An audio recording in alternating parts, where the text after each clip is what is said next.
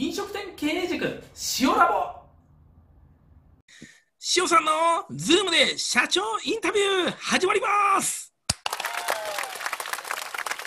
今回のお品書きです。ファイル26白仁田裕二社長前編です。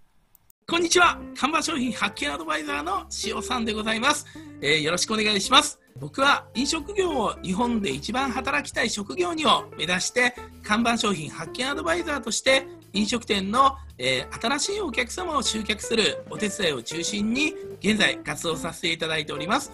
その一環で飲食店を応援するブログを2013年の7月から始めさせていただいて、えー、毎日更新、えー、本日で2603日目でございます。そして、えー、その流れで、え今年の4月から飲食店経営塾塩ラボという YouTube を始めさせていただきましてこちらは現在、え、週6個配信で動画を配信させていただいております。その中の一環として塩さんの Zoom で社長インタビューという番組を、え、始めさせていただきました、え、この番組では全国の飲食店経営者の方々に、え、直接インタビューをさせていただいて、えその、えインタビューを通じながら経営における勇気であったりそして学びを届けていくことができればと考えております。今回インタビューさせていただくのは九州久留米で飲食店を経営しておりますお腹元気グループの、えー、白仁田さんでございます、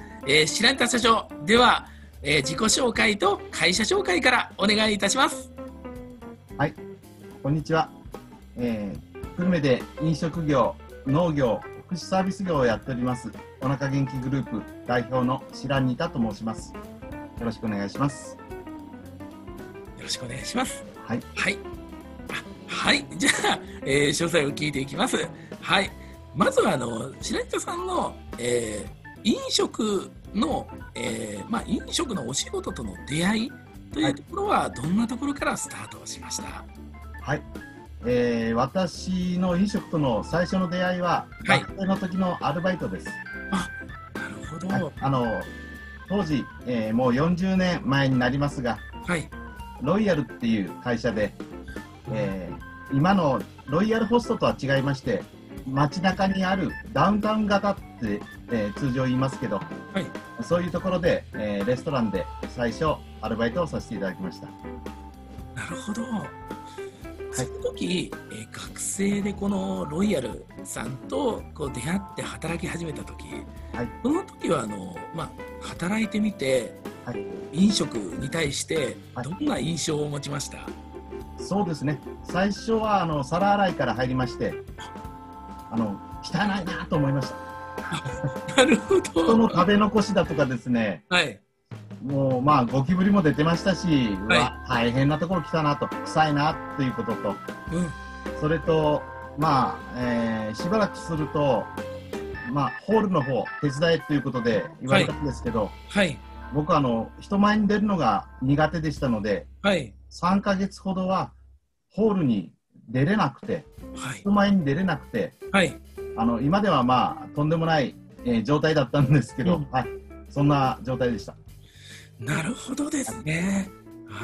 ですので、はい、あの学生の時ですから、はい、飲食店のアルバイトだけではなくて、えー、いろんなアルバイトをしまして、はい、でその中で、えー、まあ、飲食店はもう途中で辞めました。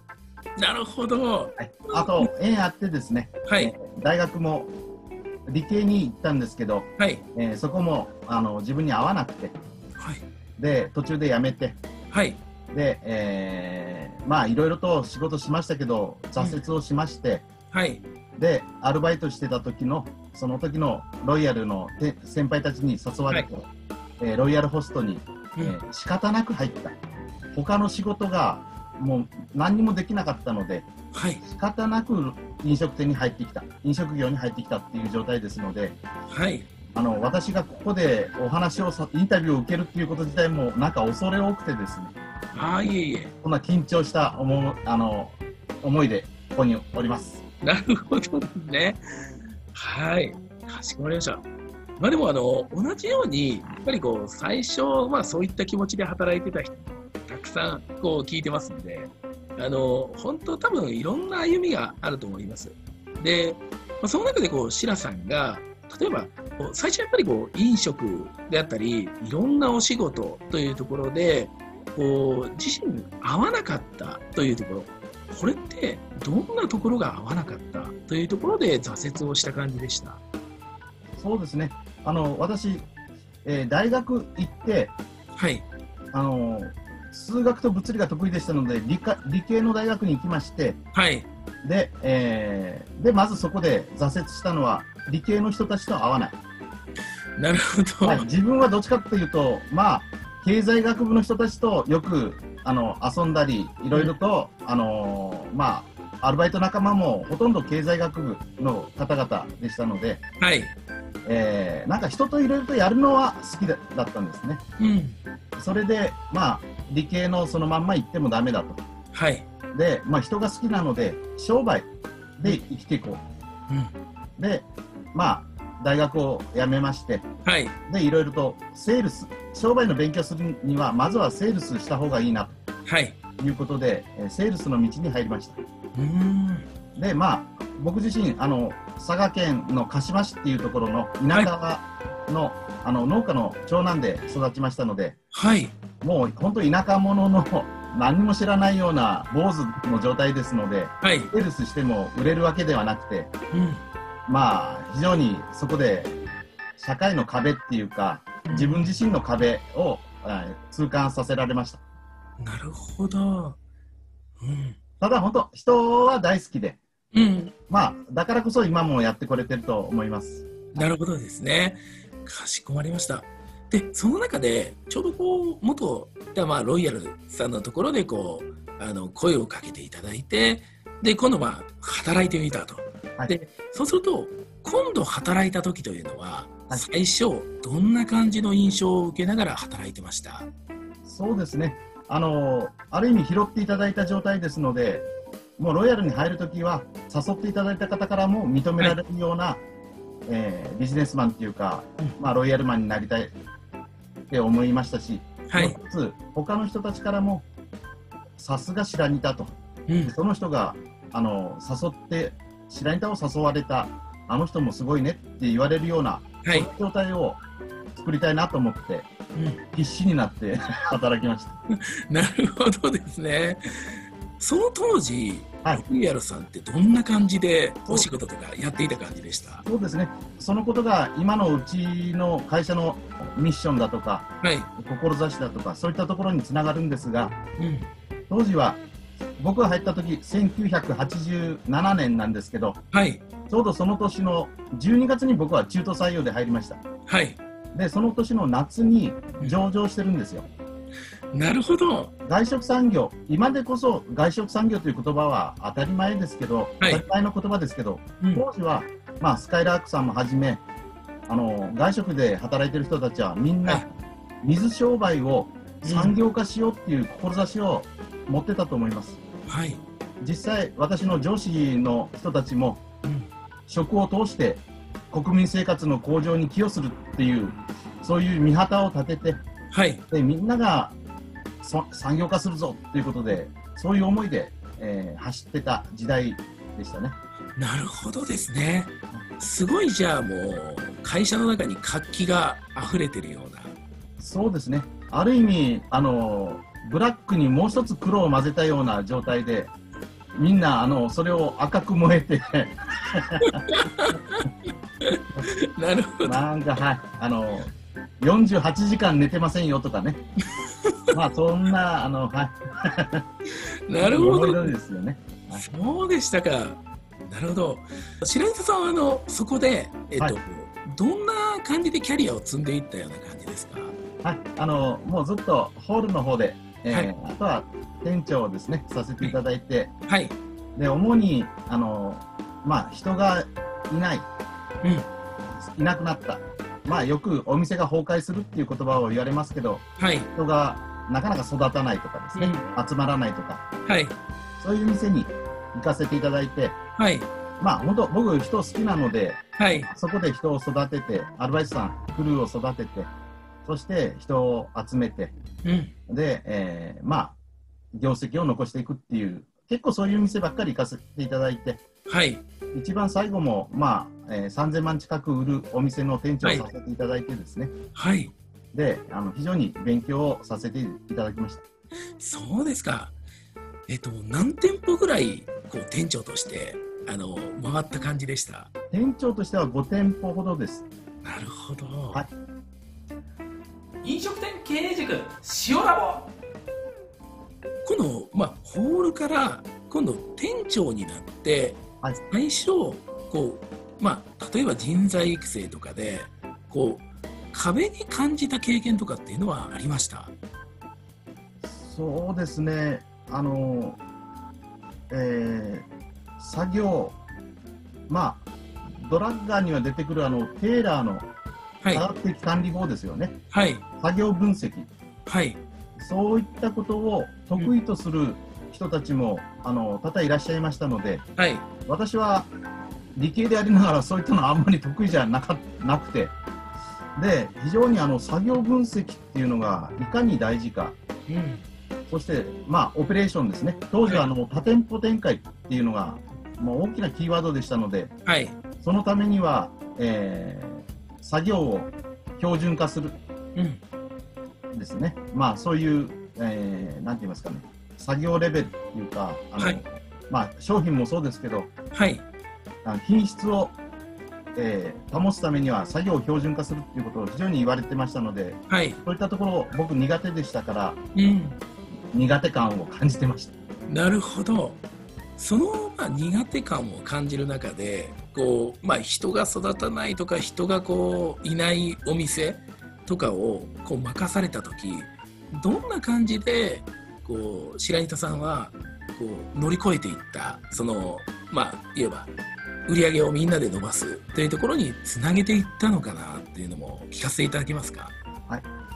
当時はですね今と違って、うん、お店を作れば人があお客様が集まる。来ていただく。それとか、はい、人それをきちっとすれしてオペレーションをあのある程度のレベルでやるともう売り上げはあの上がるっていう時代でしたので、はい、あのある意味えー、そういう標準化された作業を僕自身も勉強しながら、うん、で苦手だった僕だったので、はい、逆にあのアルバイトさんの気持ちが苦手な子の気持ちがよく分かりましたので、うん、苦手な人でもステップアップできるようなそういう細かいところの気遣いっていうか配慮だとかそういったのが逆にできるようになってたと思います。非常に僕は人揃えは、えー、会社の中では得意な方でした。で人が揃えばもう業績上が上がる時代でしたので、はい、もうそれで業績が上がったっていう話。なるほどですね。当時は楽でしたよ。っていうかあるある意味きつかったけど肉体的には、うん、うん、人という面では今よりは全然まだ楽だったような感じですね。そうですね。まあ田舎の方の店舗はそれでもアルバイトさんは集まりにくい状態はありましたけど、うん、今ほどではないですよね。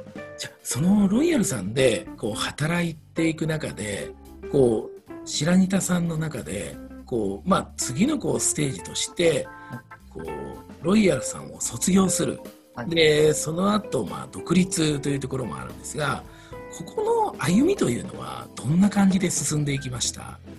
はい、あの僕はそうやって一生懸命一応自分なりですけど働かせていただいて、はい、で、えー、社会的な使命感もそうやってありましたので、はい、大好きな会社ではありました。ので辞めるつもりはほとんどなくて、うん、はい。まあ、創業のきっかけはですね、えー、ロイヤル入って4年半ごとぐらい経ってから、はい。えー、当時誘っていただいたロイヤルに誘っていただいた先輩たちから、はい。あのまあ、会社を起こすぞと。はい。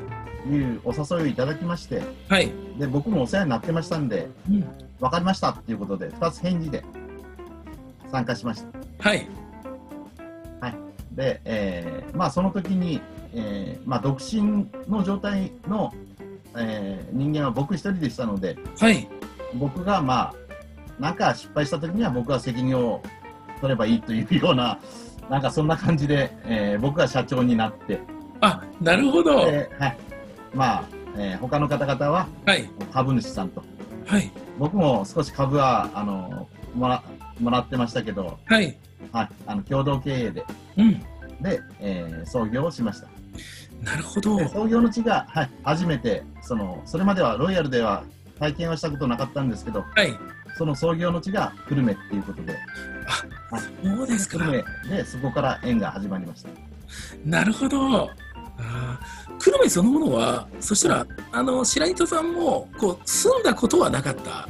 はい、住んだことも来た、はい、遊びに来たこともなくて、そうでしたか。はい、なるほどですね。じゃあこの共同経営として、スタートした新しい会社、はい。最初どんな感じで進んでいきました？最初はですね、えーまあ、あのホテルはい。でしたので、ホテルの宴会場とレストラン、洋食和食のお店の経営でした。なるテナントで入るっていうことで、はい。えそれで、まあ、あのーまあ、ざざるじゃないですけど、うん。大雑把な経営を前の方々がされてましたので、はい。まあ、ロイヤルなりのはい。こうマネジメントっていうかうん、経営管理のやり方をしていきましたところ、はい。まあ、売上利益は、はい。あのそこそこ、えーすぐ、大体すぐ確保できるようになりました。なるほど、はいそこから今度こう、まあ、展開というところについてはどんな感じでこう展開をその後していった感じでした？そうですね、えーもうロイヤルでのこうやり方が染みついてましたので、はい。どんどん展開しなければいけない。ああ、うん。という、なんか変な思いがあって、はい、であのどんどん店舗展開したいなと、うん、まあ、業績がうまくいったら、3年ぐらいで、あの独立して3年ぐらいで、はい。会社も少し安定し始めましたので、はい。でただ、ホテルのテナントに入っておくだけでは成長がないなっていうことで、はい。えー店舗展開を考えた考えて、はい。店舗展開はしました、まあなるほど、しゃぶしゃぶの食べ放題だとか、はい、当時流行ってるものを見に行って、うん、まあ、当時は東京で流行ったものが半年後に福岡に来て、はい。その半年後ぐらいに久留米に来るっていうふうに大体言われてましたので、はい。まあ、その流れに乗って流行ってるものを手当たり次第チャレンジするっていうこと。しかも、まあ、僕らあのお金はなかったのではい。で、えー新築でするんじゃなくてはい。潰れたところを、まあ、こう改装してちょこちょこっとやり替えてでコンセプトを変えてはい。展開するっていうやり方でなる始めまあのやりました。なるほど。もうあれですね。今で言うと居抜きのそうですね。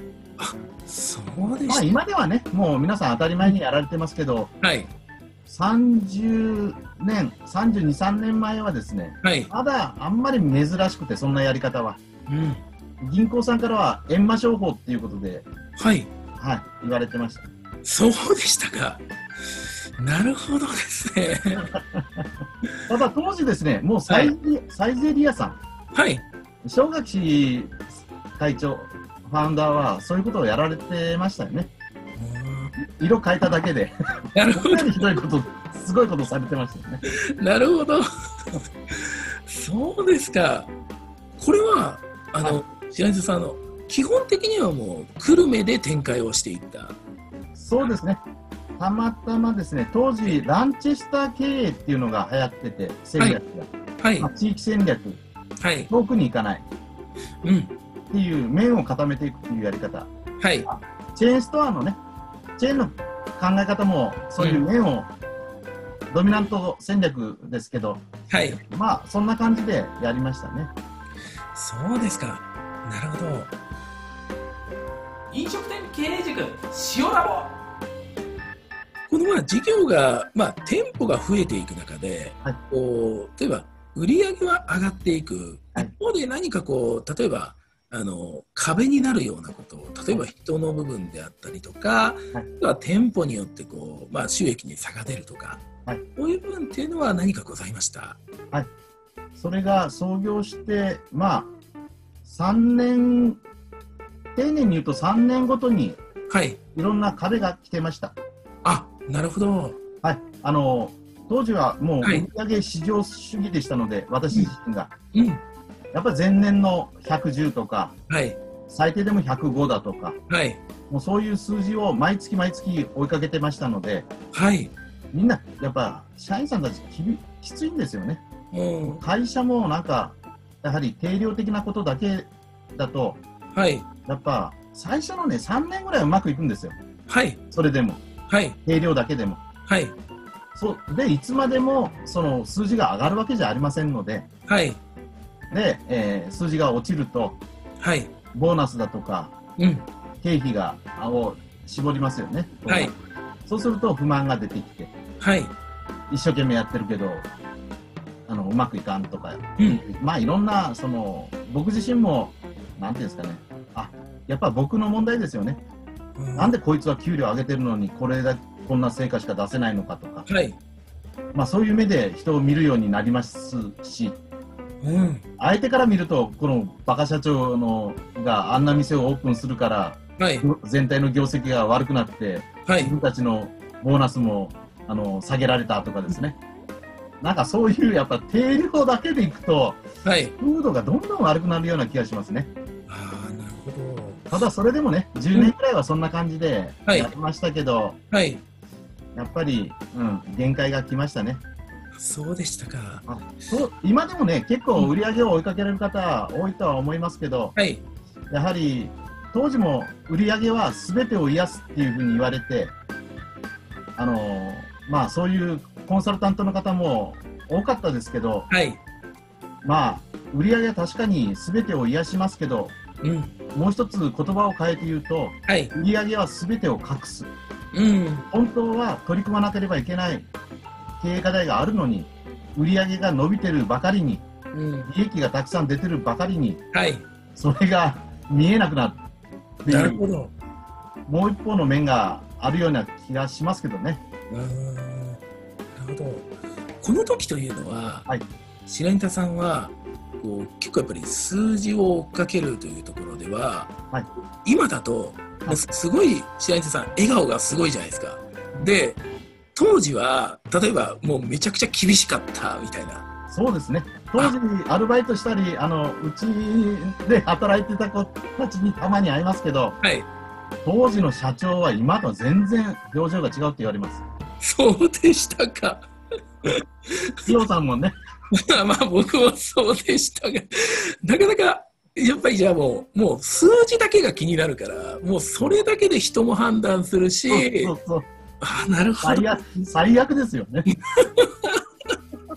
もう同じことをやってたから、なるほどですね。人が大事って言いながらね、はい。数字で見よるからね、最悪ですよ。なるほど。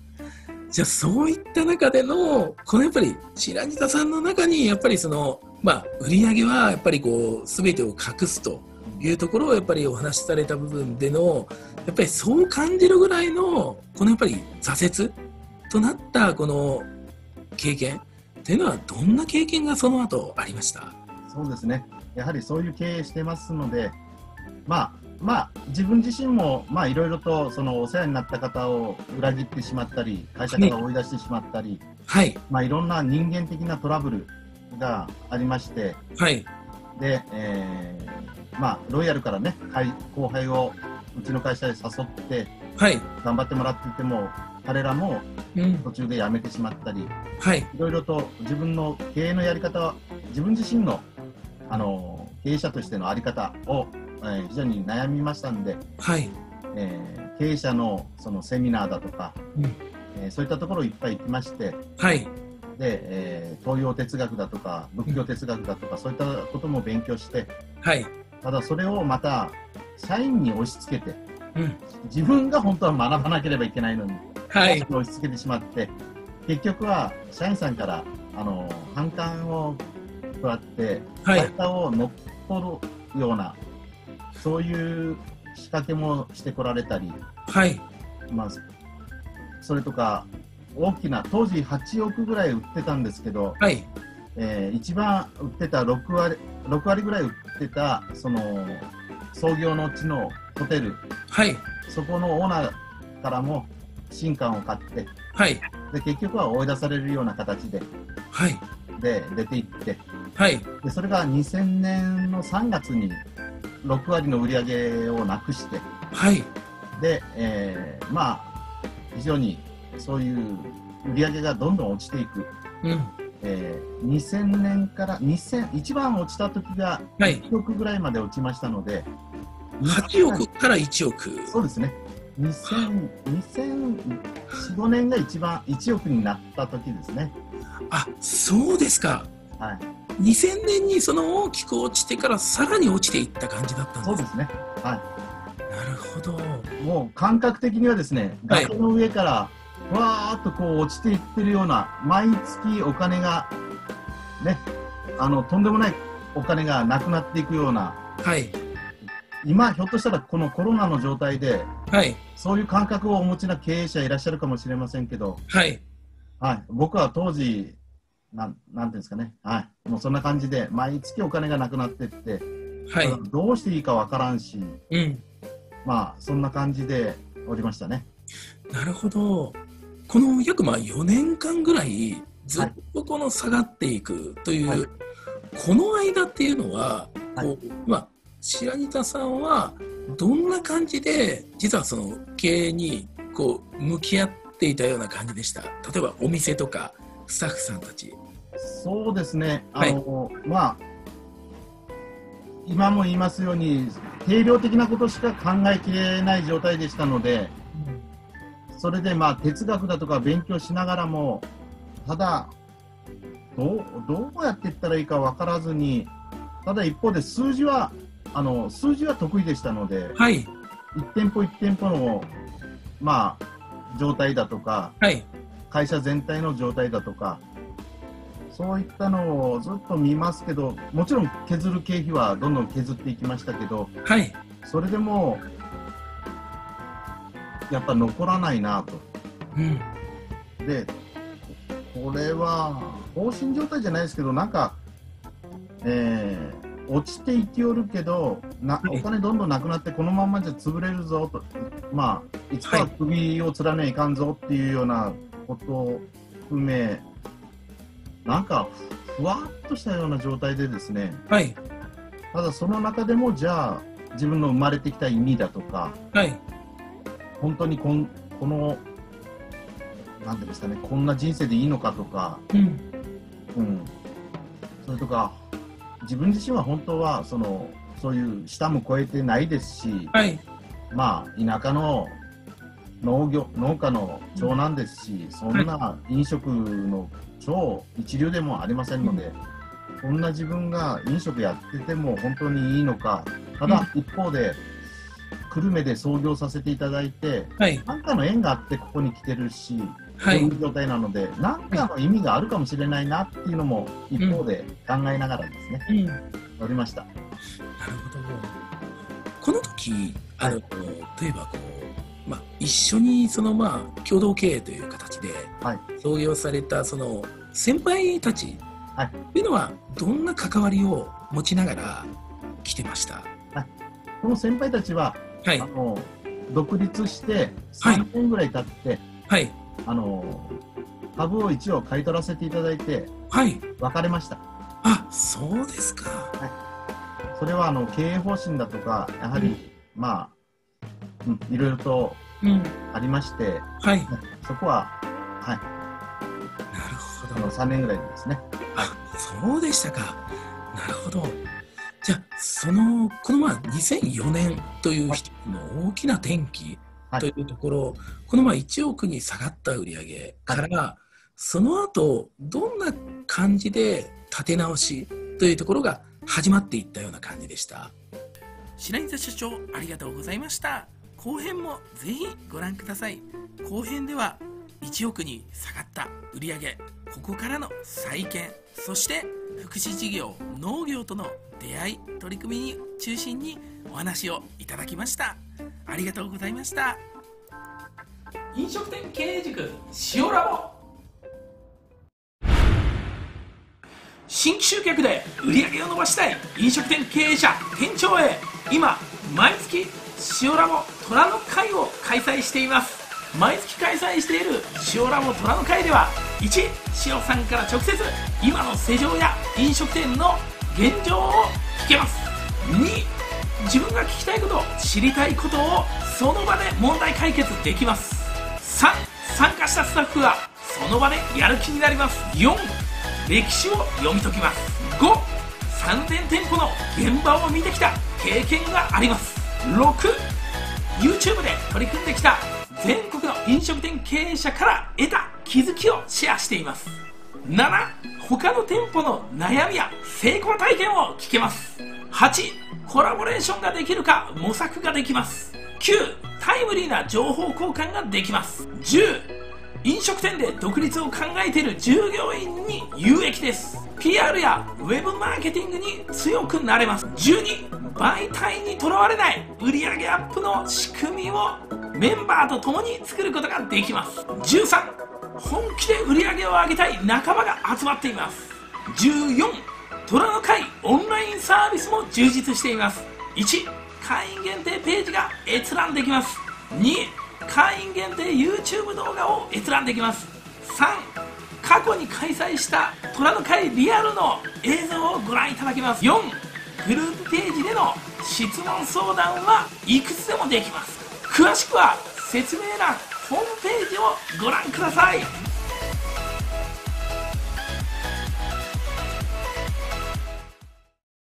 ご視聴いただきありがとうございました。ぜひチャンネル登録をお願いいたします。またよろしくお願いいたします。